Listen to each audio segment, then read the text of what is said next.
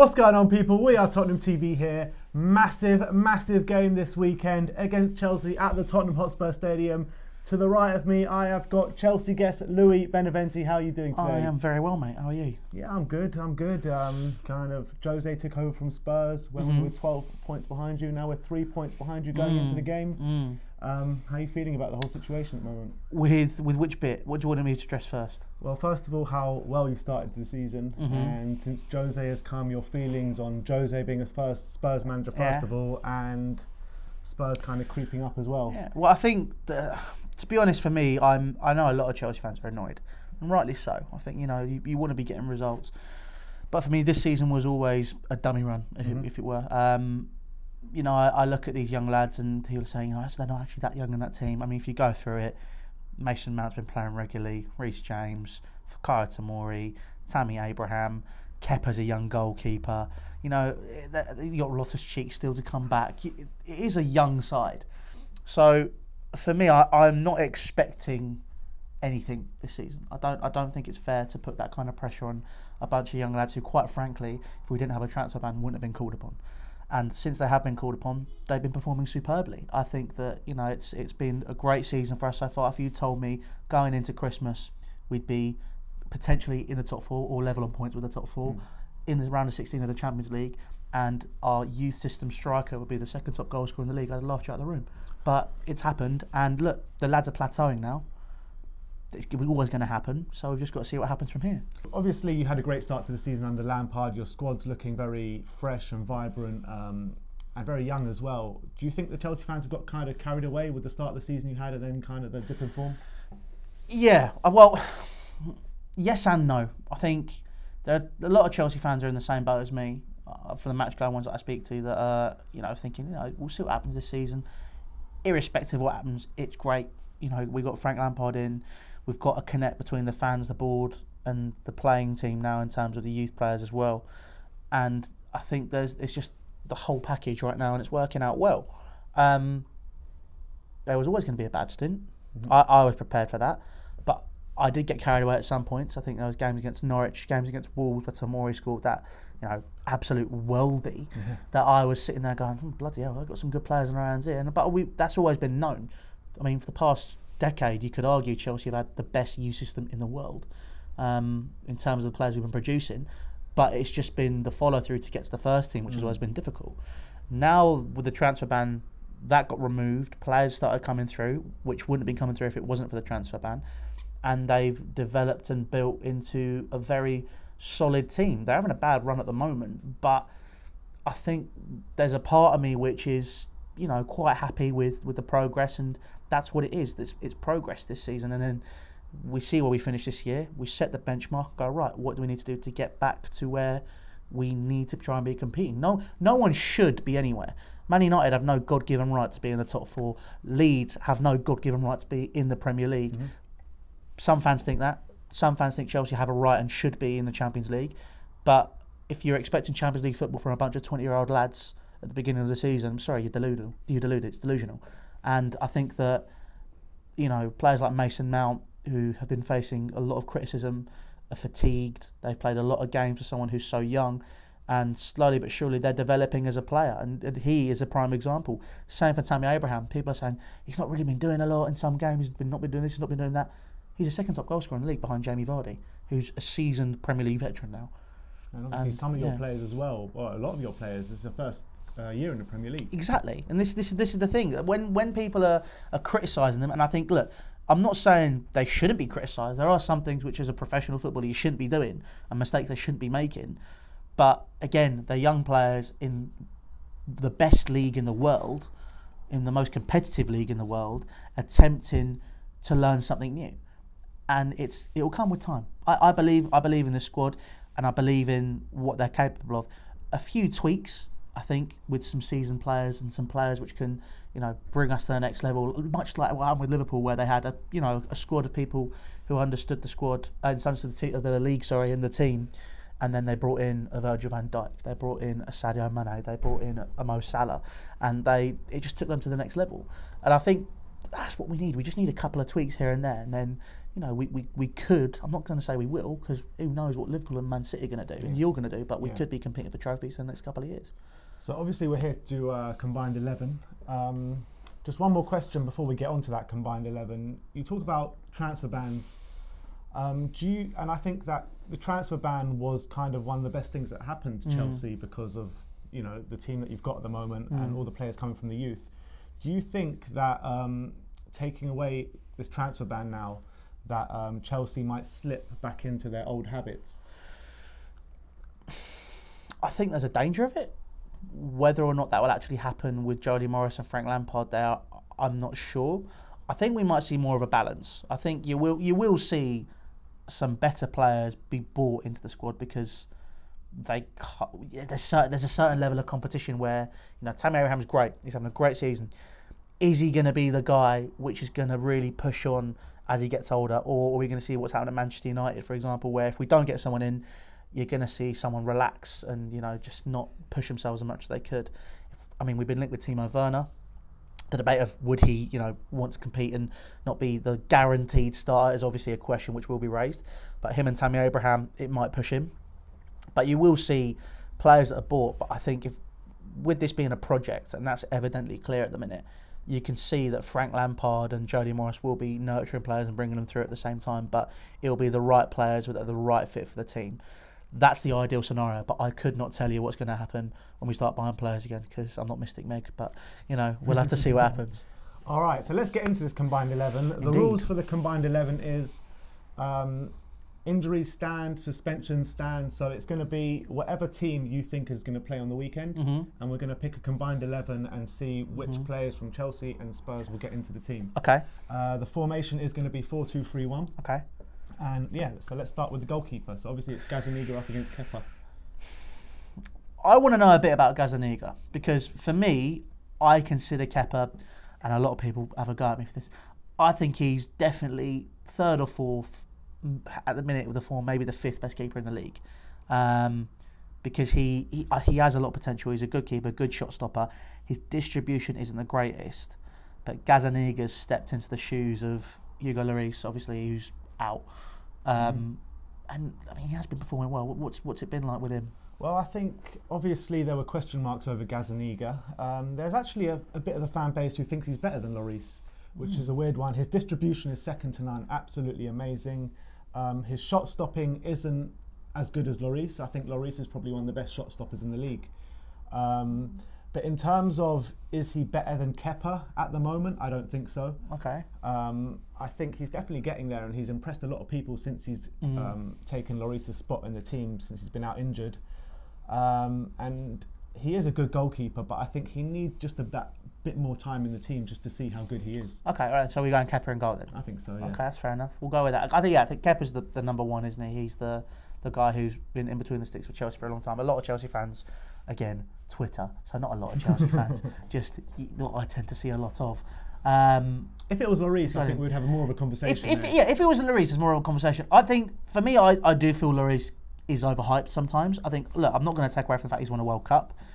I think his handling is poor as a, a seasoned goalkeeper. I don't think he's that great a leader as someone for Tottenham Hotspur. Like when he's your club captain, I don't feel People that. say he's more of a quiet leader inside the dressing room. He's more vocal, that kind of thing. But I, Okay. al- I always thought that goalkeepers don't make the best captains anyway. I mean, I think like you look at like the Brad Friedels and the Peter Schmeichels and Oliver Kahns. I think they're the guys you look at and go, yeah, Obviously, there are the exceptions, but I think the vast majority. Yeah, I think the vast majority Yeah. shouldn't be captains. I think a captain should be a centre back or a centre yeah, mid or something yeah, like that. yeah, yeah, yeah, I agree. I think I think I am quite old school in that approach. But I mean, yeah, I think okay, we'll go with Kepa. I, th- I think there's a, there's a lot of questions raised at the minute. I think him and Gazaniga. I mean, if you're saying he's he's good, but you know he needs a bit more time, then I think it's the obvious answer is Kepa. But I think there is a lot of questions to be raised about Kepa at the moment, and they feel again it's another example of a player which feel should be pushed more. But I mean, find me a first choice keeper who's going to want to become a second choice. It's not going to happen. So, you know, we'll have to see. All right, moving on to right back. Who have you been playing, or who do you think is going to play right back this weekend? I honestly couldn't tell you. Um, I think it will be. Well, I hope it will be Reece James. So it'll be Reece James up against Serge Aurier. Reece James. You think so? Reece James. Tell me a bit about Reece James. I don't know about him. So Reece James as a player, I mean, I want to know what they're feeding him for a start because he's 19 and built like a brick shithouse. I think is the best way to describe it. Fantastic on the ball, reads the game well. Um, he he can put a ball in as well, which no one's seen for quite a while at Chelsea. Um, really dangerous on the crosses and better defensively uh, than some players. I think uh, I'm not going to put him in the conversation yet because he's not played enough game time. But a lot of people are putting him in the conversation with Trent Alexander-Arnold and Wan-Bissaka and him as who's the best right back. It's a bit early, but but he has the capacity and the potential to potentially push Trent Alexander-Arnold into more of a deep line playmaker position. Because Reece James's overall game, I'd say, obviously the passing and the crossing is that's Trent's thing, Uh, but the defensive game and just the game as a right back, he's a much better player. And against Serge Aurier, I mean, we work in the same office together, lads, and uh, Ben's just moaning about the fullbacks. so that's my argument as to why Reece James goes into the team. The thing is about Aurier, yeah, since Mourinho's come, we have seen a different Serge Aurier. Yeah. He's kind of nothing to do with the defensive side of the team. Mm-hmm. He's kind of pushed up by the halfway line all Okay. game, and he's just been told to attack.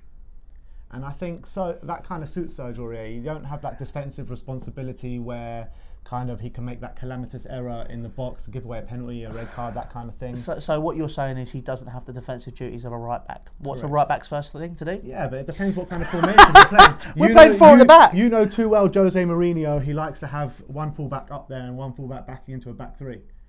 So Yeah. that's the way we're playing at the moment. So actually, our right back doesn't really need to defend. Yeah, but I mean, how are we managing this team? You know what I mean? Like, do This we? is a Tottenham do we, channel. We're do we going wanna- Tottenham uh, I'm trying to think. So, yeah, no, I, I think Reece James is he's a right back. It's got to be him. I'm sorry. Like, I get what you're saying, but we're not playing with wing backs here, are we? It's it's a four at the back.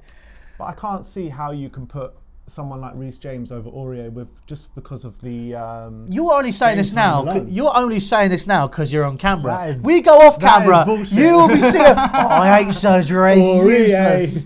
Um, No, but I genuinely I don't know much about Reece James. Should That's the thing. okay. So I think that's the only reason I'm going to put Serge Aurier in there. rock paper scissors. Rock paper scissors. Rock paper scissors. Okay, ready? And this this will just decide it. Ching Chang Chong, yeah? On Chong. Yeah, okay, yeah, yeah. Okay, right, okay, ready? Ching Chang Chong. Okay, you can have. Serge Aurier gets in. Go on. Okay. Left back.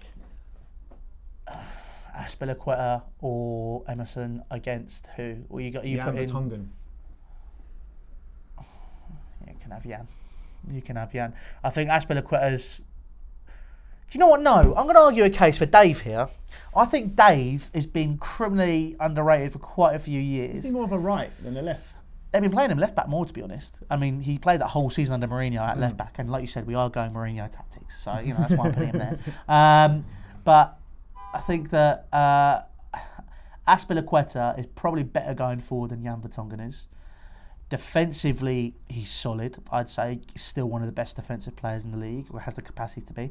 I know a lot of people are going to be in the comments already saying something about that. Uh, but I think the issue with Azpilicueta is, as time has gone on, because he's played so regularly, his body is catching up with him. I think I think there's similarities between the two. There's definitely similarities. and Vertonghen. You know, they're both aging. Uh, they're both like being caught up with their legs and all that. Uh, they've both been playing at left back. Yeah, The difference is, I think Vertonghen kind of drifts into a back three, where Aspi is he more bombs forward. Yeah. bombs forward, where it's not really his game. Mm, Um, I would argue Vertonghen. I think Vertonghen's been probably our best centre back of the decade, even though we're putting him at left back. I think Yeah. he does a job at left back. I think if you saw last season when we played Dortmund, he was bombing it up and down that left side, Yeah.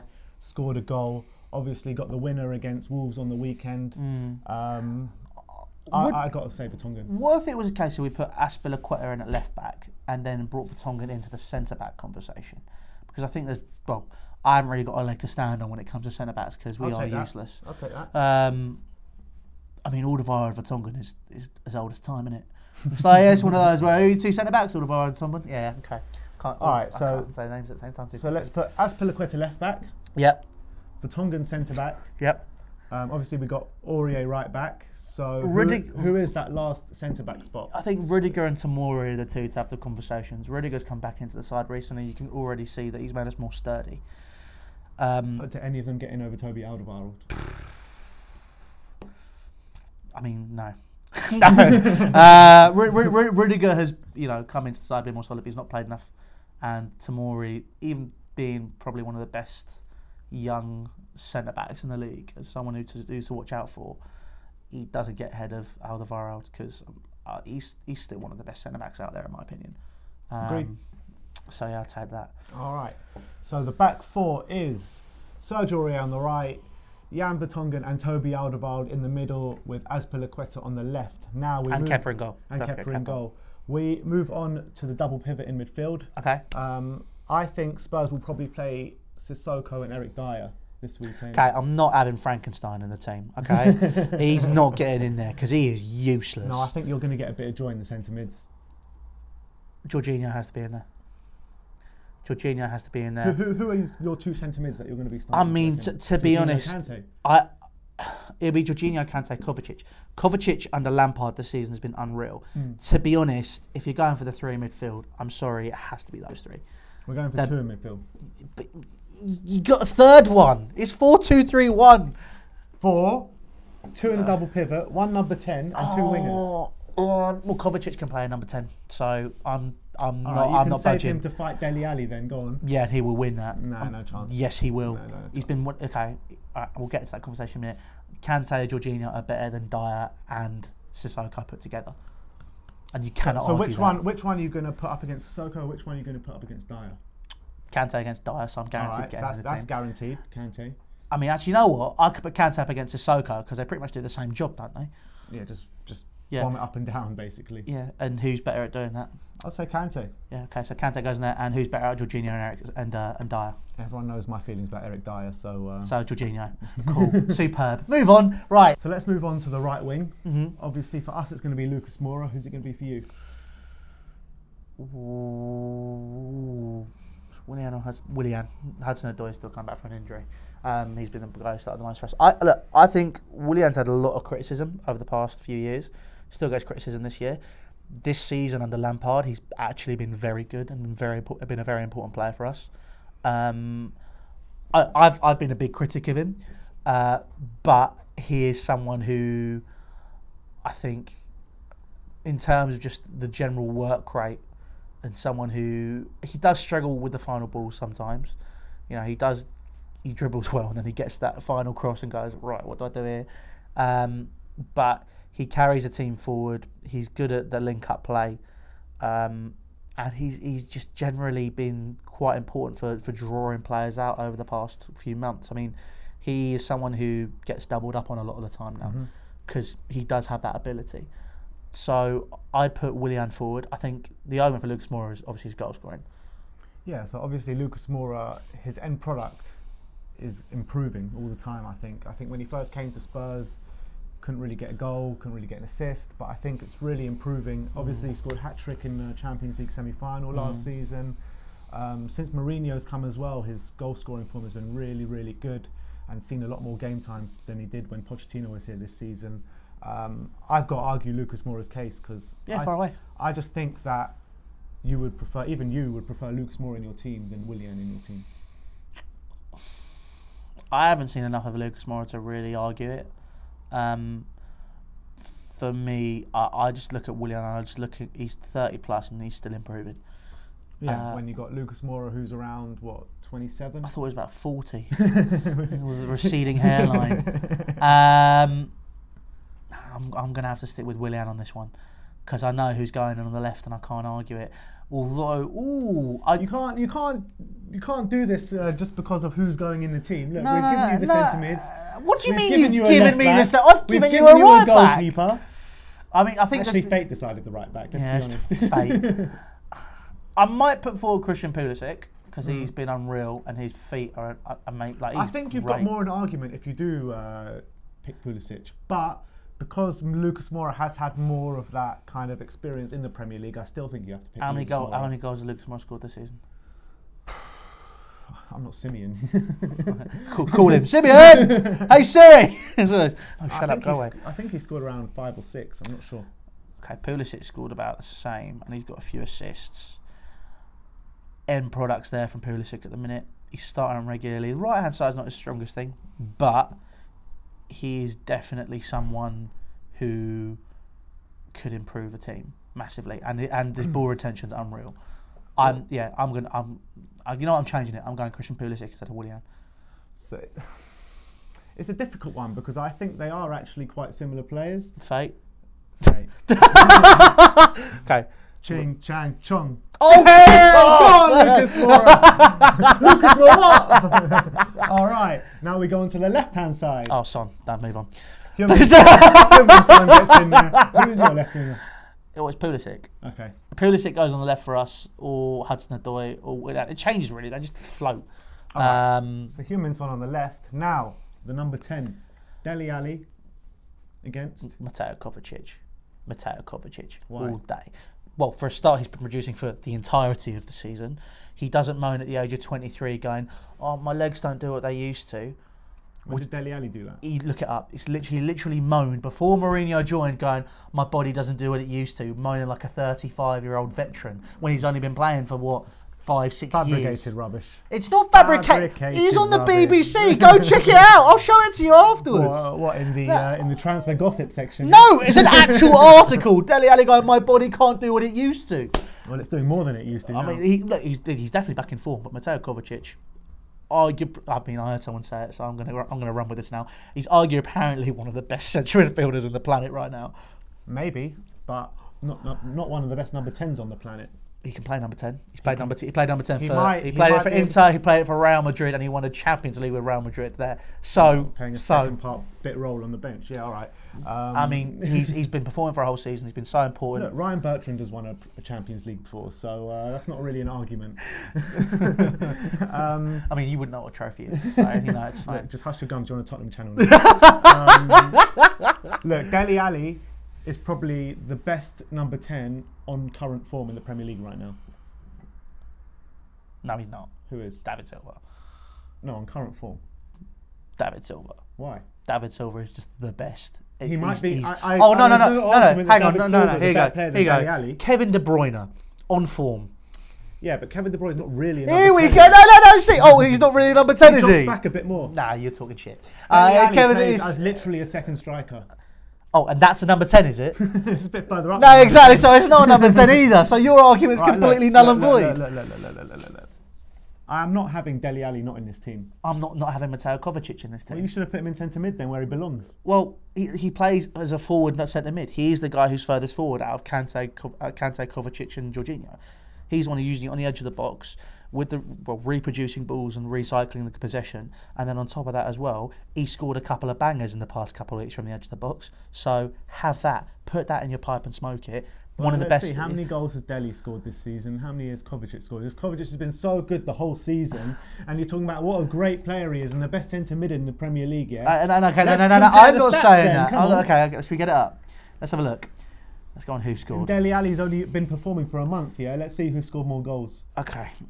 You want to look at the stats? I'm telling you, Mateo Kovacic is unreal. Look, and you can compare them as well. All what right, is look, whoever's got the better goals to assist stats will go in the team. Mateo Kovacic? Here we go. Age 25, Croatia, 12 appearances this season, Where's the comparing? one goal, two assists. Shots per game 0.65, tackles two, dribbles Okay, 2.9. here's the go. Goals. Oh, that's Champions League. Three, go- three League? goals he scored. That's Premier League. One goal, two assists. All right, go to Dele Alli. You don't even need to go to Dele Alli because I can tell you it's much more than that. Go on. five and Five three. goals and three assists for one month in form. Dead rubber. Dele Alli gets in the team as the second striker, number 10, whatever you want to say. Uh, case closed. Thank you very much, Louis. And now we're going to go for the striker, Harry Kane against Tammy Abraham. Who I- are you putting in? Okay. Okay. Wait. How many goals, if we're doing that, how many goals has Kane scored in the Premier League this season? Harry Kane is England captain. Tammy Abraham can't Don't- even get into the England team. Don't care. Don't care. You've literally just used a goals argument, so let's go with that argument again, shall we? How many goals has Harry Kane? And you said this is all on current form as well. You were saying mm-hmm. how many goals has Harry Kane? Abraham's dried up though. Answer the question. Oh, I know he hasn't. He, Tammy sco- he's, he's, he scored like two, a game ago. A game ago. So go on. So, tell, tell me how many goals Harry Kane scored in the Premier League this season. He scored a couple less than Tammy Abraham. Has he? That's funny. There you go. Dead rubber. Tammy Abraham goes in if we're using that argument. Yeah, but we're not using that argument for this. Oh, one. we're not, are we? 'cause No, Harry funny Kane- that. you Funny that. cannot- You cannot not put Harry Kane in. You can't. It's, it's just not possible. Ah. and you know that. Why can't we take Dele Alli out and go 4 4 2? No, no, no. We're But- going 4 2 3 1. That's, that's the rules of the game. rules of the game, Yeah, because you want that formation. Yeah. God. If we did one on your channel, you can pick the formation. No, I, you know what? I'd be flexible because I'd like to have a ha- have a debate, and if there's a way we can make it work, you kind of make it malleable, which is by taking Dele Alli out of the frigging team and put Tammy Abraham in. No chance. No chance. I mean, you literally you, you, you, he's picking and choosing. It's your channel. I can't really say a lot to be honest, This is a can I? dictatorship, isn't it? It is. it is. All right, so the team has been finalised. The team is Kepa in goal, right back Serge Aurier, centre backs of Jan Vertonghen and Toby Alderweireld with a left back of Azpilicueta. Centre mids is Kante and Jorginho. Right mid Lucas Moura. Number 10 Dele Alli. Left mid Heung-min and strike force of Harry Kane. Really should be Tammy Abraham based on the argument you're making, but you know. But anyway, whatever. that is the combined 11. Go check over on Louis' channel. We're going to do a Chelsea and Tottenham combined 11 for the decade, which will, could be sad news for us. But It will be sad news because there won't be a single Tottenham player in that team. we'll see about that. Like, subscribe, and comment. Tell me what you think of this combined 11. And as always, come you Spurs. No.